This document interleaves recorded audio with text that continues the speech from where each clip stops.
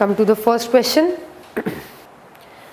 the cost per unit of transporting goods from the factories x y z to destination a b and c and the quantities demanded and supplied are tabulated below जैसे हमने worker और jobs के बीच में assignment किया अभी हमें क्या करना है किस फैक्ट्री से कौन सी डेस्टिनेशन पे गुड्स पहुँचाए जाए हमारे तीन फैक्ट्रीज हैं तीन आउटलेट्स हैं सेल्स आउटलेट तो कौन सी फैक्ट्री गुड्स को कौन से आउटलेट पर पहुँचाए ये हमें क्वेश्चन में पूछा गया है। Okay again it's assignment only हमें असाइन करना है किस आउटलेट पे कौन सी फैक्ट्री गुड्स भेजेगी। As the company is working out the optimal logistics, the government has announced a fall in oil prices. जैसे कि कंपनी ये वर्किंग कर रही है गवर्नमेंट ने ऑयल प्राइसेस के रेट्स रिड्यूस कर दिए। प्राइसेस रिड्यूस होंगे तो हमारे कॉस्ट भी कम हो जाएँगे transportation cost the revise unit cost are exactly half the cost given in the table जो टेबल में दिए ना कॉस्ट उनका जस्ट हाफ़ हो जाएगा रिवाइज कॉस्ट अभी जो दिया है दैट इज़ बिफोर रिविजन जब रिविजन होगा तो ये सारे कॉस्ट आधे हो जाएँगे.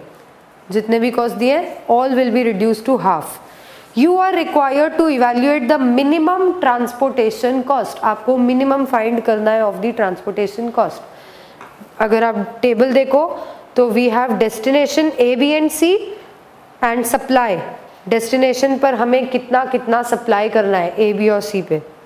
सॉरी नो ए बी और सी का डेस्टिनेशन दिया है. Supply is related to factories कितनी अवेलेबिलिटी है गुड्स की? देन फैक्ट्रीज दिए X Y and Z and it's given as demand नीचे। सो so, अगर हम पूरा टेबल एक साथ पढ़े तो अगर फैक्ट्री एक्स से डेस्टिनेशन ए पे गुड्स जाते हैं फैक्ट्री एक्स से डेस्टिनेशन ए पे अगर गुड्स जाते हैं हमें पंद्रह रुपए लगेगा ट्रांसपोर्टेशन कॉस्ट ओके सिमिलरली अगर फैक्ट्री एक्स से बी पे गुड्स जाते हैं नाइन रुपीज़ कॉस्ट लगेगा सी पे जाते हैं तो सिक्स लगेगा। And in total factory X can supply ten units ज़्यादा से ज़्यादा फैक्ट्री एक्स जो है, वो दस यूनिट ही सप्लाई कर सकती है। उससे ज़्यादा it can not supply okay maximum जो अवेलेबिलिटी है प्रोडक्ट की, वो दस यूनिट ही है फैक्ट्री एक्स के पास। वो मैक्सिमम टेन ही सप्लाई कर सकती है। Then similar will be for factory Y Y A पे सप्लाई करे बी पे करे सी पे करे क्या क्या कॉस्ट लगेगा? और वाई के पास भी मैक्सिमम टेन रुप टेन यूनिट्स ही अवेलेबल है। सिमिलरली फॉर जेड देन नीचे डिमांड दी गई है। So now demand is for the sales outlets जो डेस्टिनेशन है ए बी और सी ए पे भी टेन यूनिट्स की डिमांड है बी में भी टेन यूनिट्स की डिमांड है सी में भी टेन यूनिट्स की डिमांड है। तीनों को टेन टेन यूनिट्स ही चाहिए।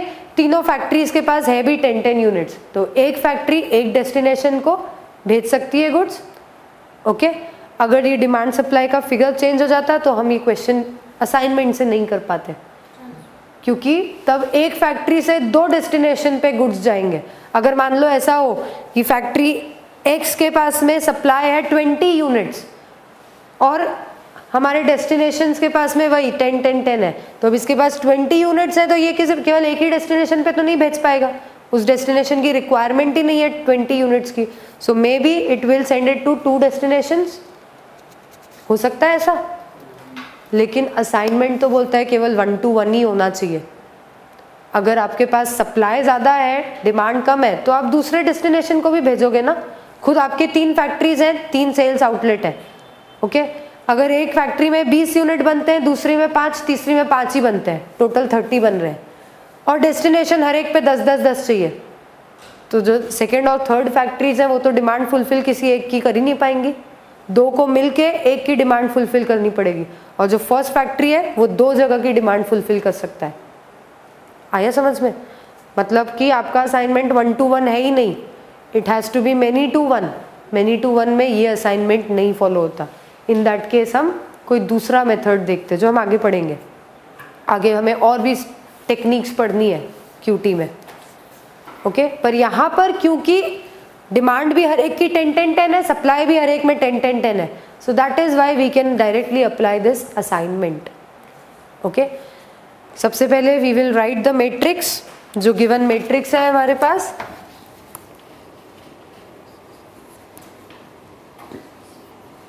आपको स्टेप बाय स्टेप सिर्फ़ हेडिंग देनी है मैट्रिक्स बनाना है। हेडिंग देनी है मैट्रिक्स बनाना है। डिटेल में लिखना नहीं है कि आपने क्या क्या क्या क्या किया। अनलाइक कॉस्टिंग कॉस्टिंग जब हम पढ़ते हैं, मैं बोलती हूँ, हर एक स्टेप की आपको वर्किंग देनी है। कहाँ से, कैसा, कैसे फिगर आए, क्या प्लस किया, क्या माइनस किया, सब कुछ आपको बताना है। क्यूटी में नहीं करना है ऐसा। You just have to give the heading क्योंकि दीज आर डिफाइंड स्टेप ये ऐसे ही करना है।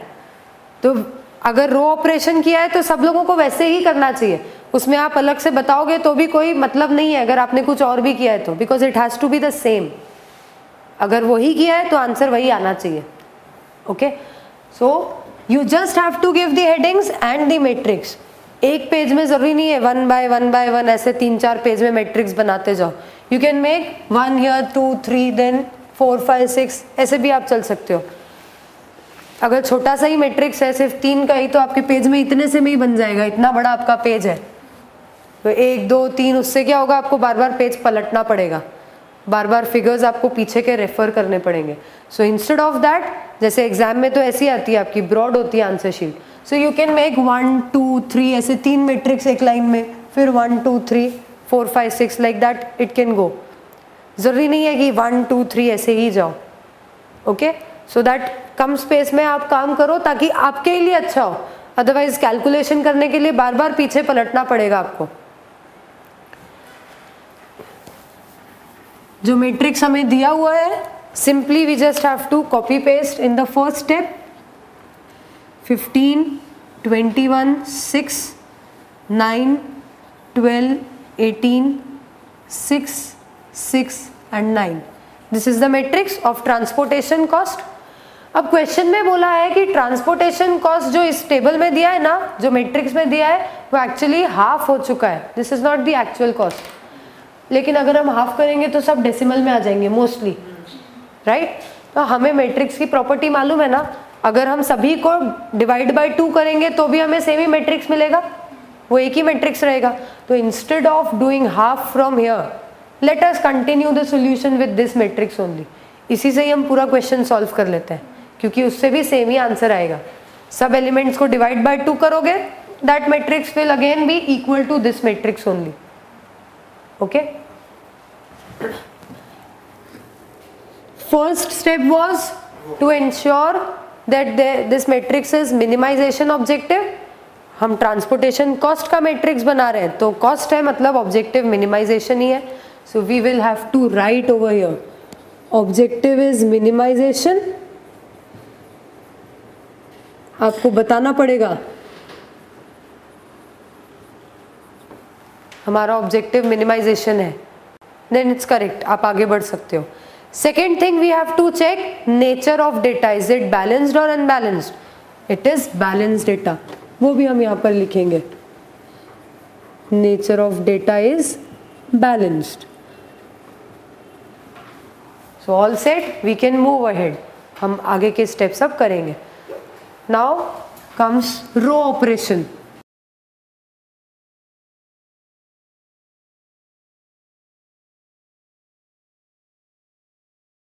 row operation में हर एक रो का मिनिमम एलिमेंट हम चूज़ करेंगे और उसको बाकी के सारे रो के एलिमेंट से लेस कर देंगे। फ़र्स्ट रो में मिनिमम इज़ सिक्स तो सिक्स से सिक्स को हम इन तीनों में से डिडक्ट कर देंगे।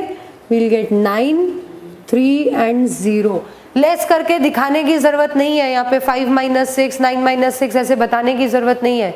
You can directly write the figures second row में again minimum is six fifteen six and zero third row में again the minimum is six zero twelve and three row operation हो गए? Now coming to column operation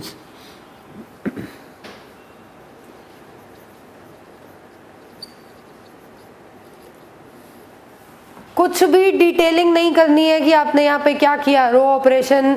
So deduct the minimum row element ये सब कुछ भी नहीं लिखना है। सिर्फ़ हेडिंग और matrix only heading and matrix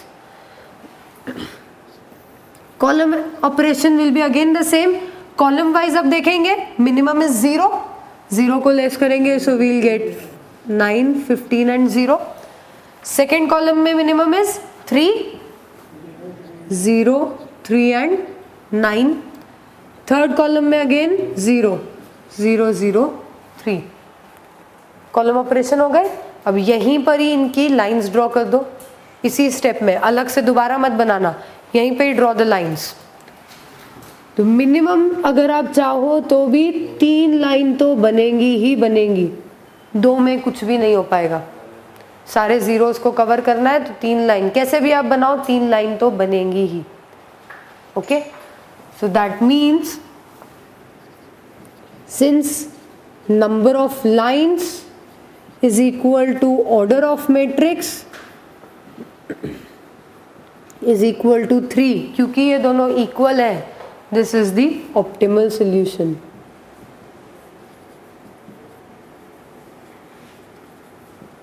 ये हमारा optimal solution आ गया so now we'll go with the assignment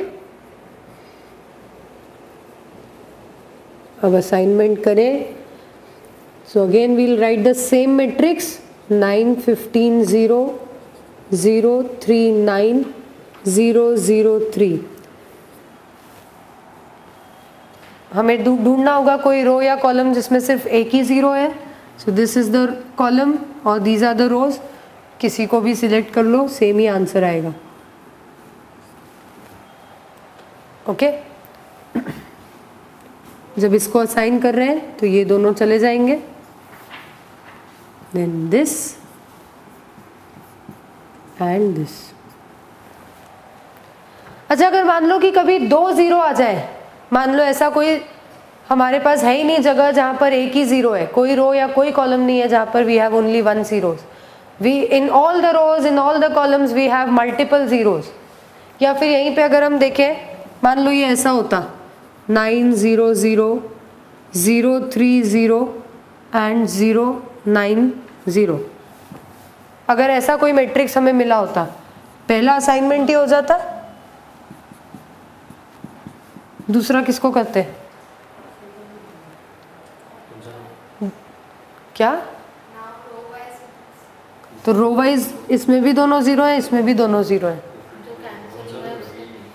cancel हुआ है, वो तो असाइन हो चुका ना। उसके नीचे? नहीं, ऐसा कोई रूल नहीं है। When we have such kind of solution हम बोलते हैं कि there exist alternate optimum solution. मतलब आप चाहे ऐसे असाइनमेंट कर लो, चाहे इन दोनों को असाइन कर लो। दोनों से आपका जो सोल्यूशन आएगा, जो मिनिमम कॉस्ट आएगा, वो सेम ही होगा। Okay okay? तो हम बोलेंगे there are alternate feasible multiple solution are there multiple optimum solution are there okay तो उस केस में आप किसी को भी सिलेक्ट कर सकते हो आर्बिट्ररीली और आप उसका असाइनमेंट कर सकते हो। Okay for this particular question this will be our assignment but अभी क्वेश्चन कंप्लीट नहीं हुआ है। हमें मिनिमम कॉस्ट बताना है उन्हें। ये तो सिर्फ़ असाइनमेंट हुआ। सो नाउ लेट्स सी हमने कैसे असाइनमेंट किया है? तो वी हैव असाइंड ए को हमने कौन सा दिया है? Z. ए को z दिया है ना? B को दिया है x और c को दिया है y.